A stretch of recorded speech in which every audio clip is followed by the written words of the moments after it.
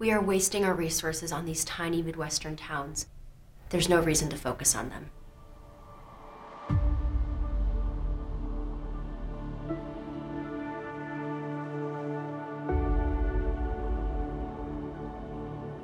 Hey, Mom.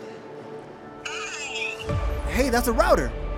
No, it's not. Oh, come on, you gotta let me use it. This is the last assignment for this class all semester. I, dude, I don't know you. Just like use LTE instead of. Service is so shit. What is this? A router? This is nuts. You're running an ISP from your bedroom. They're against our rules, Misha. You know, you could make a fortune selling connections to this. Whoever made this clearly knows what they're doing, and we should consider working with them. Buy the tech. This could be the kind of thing that we need in order to pull us out of this rut, and I, I just. Bring him in! So you're my little tech guru. But you see, this here is Astroweb's town, my town. Nobody gets internet if it's not for me.